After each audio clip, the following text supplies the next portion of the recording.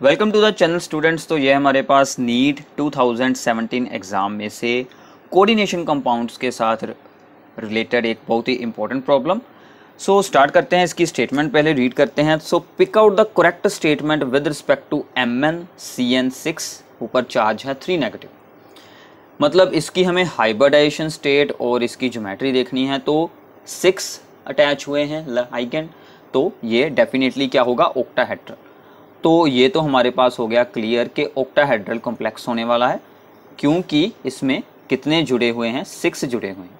M N C N six हैं और ऊपर चार्ज है थ्री नेगेटिव अब देखिए, जब कोई भी कम्प्लेक्स होता है ओक्टाहेड्रल तो उसमें दो ही हमारे पास ऑप्शन बचते हैं, जो कि दो ऑप्शन होते हैं यहाँ पर, जो उनकी हाइब्रिडाइजेशन स्टेट हो सकती है।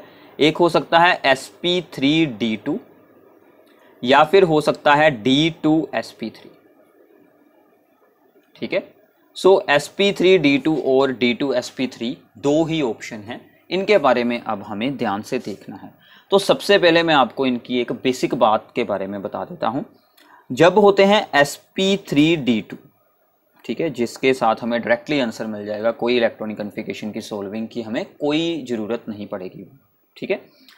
यहाँ पर आउटर ऑर्बिटल्स यूज़ हो रहे हैं। ठीक है तो इसे हम कहते हैं outer orbital complex outer orbital complex so outer orbital complex form होने का मतलब क्या है? कि यहाँ पर नो पेरिंग ऑफ़ इलेक्ट्रॉन्स ठीक है ना? पेरिंग ऑफ़ इलेक्ट्रॉन्स नहीं हुई है. नो पेरिंग ऑफ़ इलेक्ट्रॉन्स इसका मतलब क्या है? कि हमारा जो आइगेंट जुड़ा होगा, वो वो क्या होगा? वीक फ़ील्ड होगा. ठीक है ना? अगर स्ट्रॉन्ग फ़ील्ड होता तो क्या हो जाती? पेयरिंग हो जाती। तो मतलब आपको क्या याद रखना है कि जब जुड़ा हो वीक फ़ील्ड हाइगेंट तो नो पेयरिंग ऑफ़ इलेक्ट्रॉन्स मतलब हाई स्पिन कम्प्लेक्सेस बनेंगे। ये सब कुछ हो जाएगा इसमें। दूसरे का ऑपोजिट हो जाएगा बिल्कुल। ठीक है? तो पहले एक को याद रखें। कि अगर sp3d2 हाइब्रिडाइजेशन है तो इसका मतलब जो आउटर डी ऑर्बिटल्स यूज़ हुए हैं तो आउटर होने का मतलब क्या है कि इलेक्ट्रॉन्स की पेयरिंग नहीं हुई है। इसलिए जो हमारे इनर डी ऑर्बिटल्स होते हैं, वो हमारे लिए अवेलेबल नहीं हो पाए हैं। इसका मतलब क्या है कि जो आइगेंट्स थे, वो वीक फ़ील्ड थे, इसीलिए उनसे पेयरिंग नहीं हो सकी। ठीक है? इसका मतलब वहाँ पर अनपेड इलेक्ट्रॉन्स ज़्यादा होंगे तो वो हाई स्पिन कम्प्लेक्स बनेगा। अब इसका आंसर डायरेक्ट है। ये कौन सा है? This is strong field ligand ठीक है? C N is strong field ligand ठीक है? आपने सीरीज़ को देखा होगा, सबसे स्ट्रॉन्ग में से एक है ये, जो सबसे स्ट्रॉन्ग होते हैं, ठीक है? अगर स्ट्रॉन्ग फ़ील्ड है तो इसके ऑपोजिट क्या होगा? D two S P three बनेगी D two S P three मतलब क्या होगा? कि अब यहाँ पर पेरिंग हो चुकी है और हमारे इनर ऑर्बिटल कॉम्प्लेक्स बने हैं।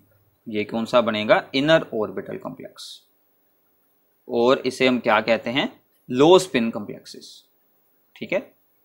तो वैसे तो हमारा आंसर यहीं से हो चुका है कि D two S P three and octahedral मतलब हमारा सी ऑप्शन राइट है ओके बट फिर भी अगर आपको इसकी इलेक्ट्रॉनिक कन्फिगेशन बनानी है तो आप उसे भी बनाकर देख सकते हैं। तो सबसे पहले हम एम एन की ऑक्सीडेशन स्टेट सोल्व करते हैं। कितनी बनेगी? इसकी बनेगी माइनस सिक्स ये दूसरी तरफ़ जाएगा प्लस सिक्स ऊपर चार्ज है माइनस थ्री सो ये बन गई हमारी प्लस थ्री ठीक है? ऑक्सीडेशन स्टेट सोल्व की है एम की। Okay next is the M का अटोमिक नंबर कितना होता है? 25 ठीक है? तो इसकी इलेक्ट्रॉनिक कन्फिगेशन क्या बनेगी? आर्गन 18 4s2 3d 5 ठीक है? हाफ़ फिल्ड बनता है ये।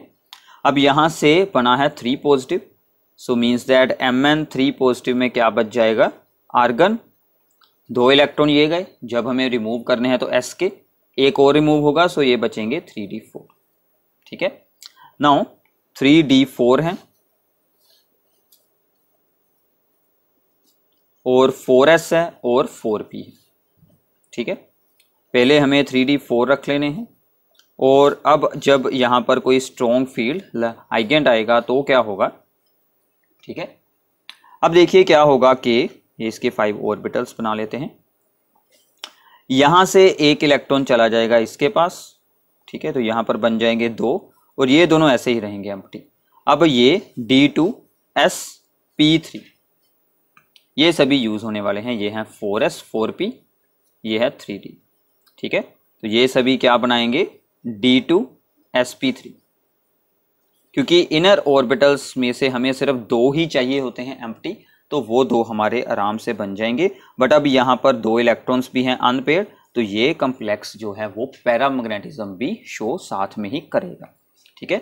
तो ऐसे आप किसी भी कम्प्लेक्स के बारे में complete information with the help of strong field है या वीक फ़ील्ड है आइगेंट एंड साथ में आप वेलेंस बॉन्ड थ्योरी के अकॉर्डिंग उनकी यहाँ पर हाइब्रिडाइजेशन स्टेट के साथ उनकी ज्योमेट्री के बारे में भी जान सकते हैं। ठीक है?